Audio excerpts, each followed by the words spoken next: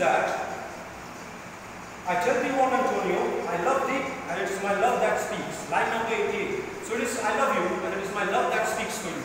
Okay, Antonio, I love you a lot, and out of my love, I'm concerned for you, I want you to be happy. There are a sort of men whose visages, the word is visages. Alright for you?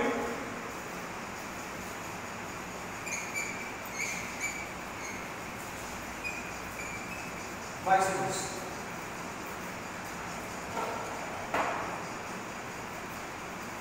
Means faces.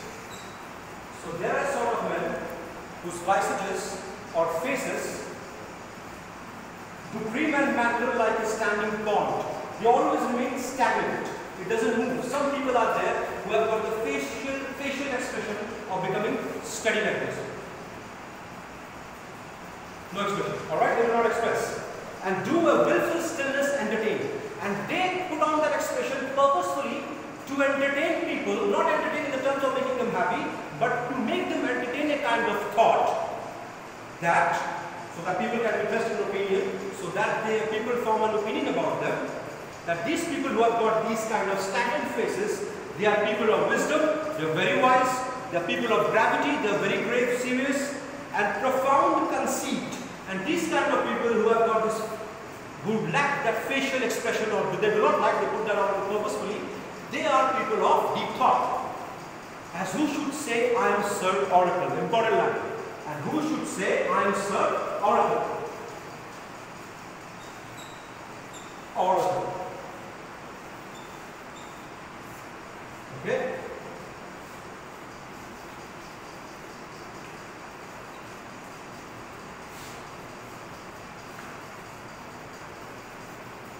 As per Greek mythology, oracle meant the voice of gods.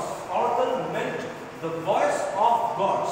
So the priests, they used to deliver the thought of gods to the king through the voice of oracle. They used to say that oracle had come upon us, who the God of wisdom, and we are speaking something good for the king.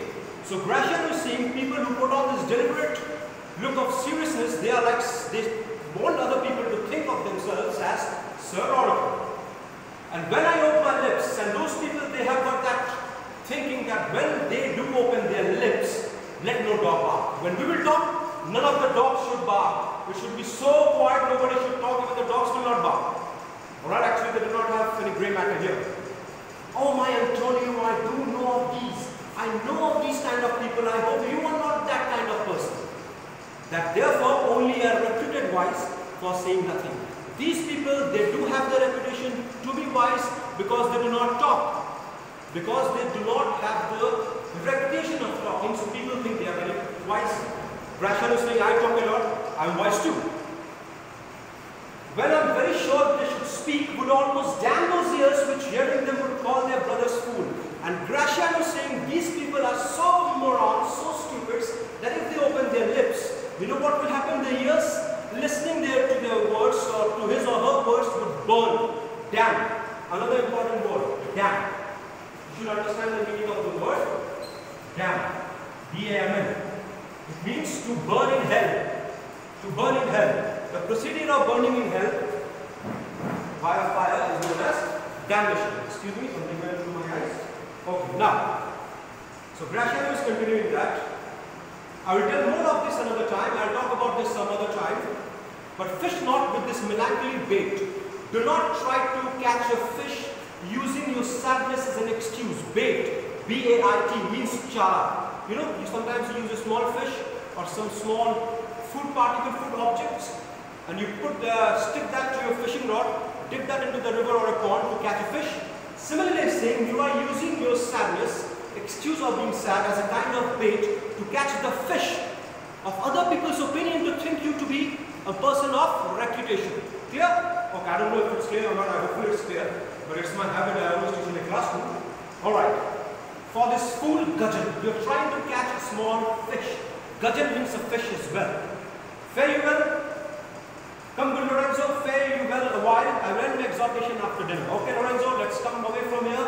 I'm going to end my speech after dinner. Lorenzo, well we leave you, the dinner time. I must be one of the same dumb wise men for Gratiano never lets me speak. He's saying I'm like those people who are always quiet because Gratiano does not let anyone speak. Gratiano, well, keep me company for two years more.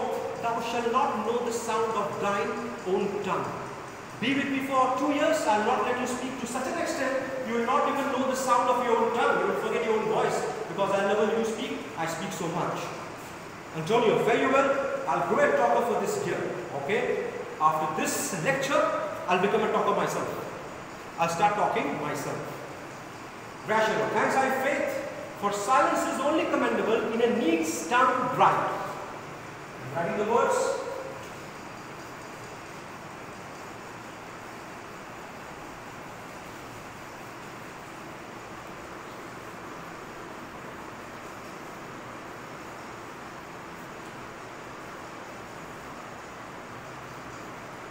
Use terms right and maid not valuable. So he's trying to say that the only terms that should not, the only tongues that should be silent Now, ox tongues is a very famous dish among Englishmen, Italians, the Anglo-Indians who stay in India.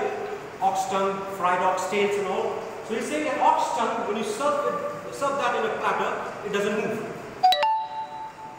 So, only tongue that shouldn't move is an ox tongue and a maid not vendible and an old maid whom no one is going to buy, whom no one is going to get entertained with, that maid doesn't talk.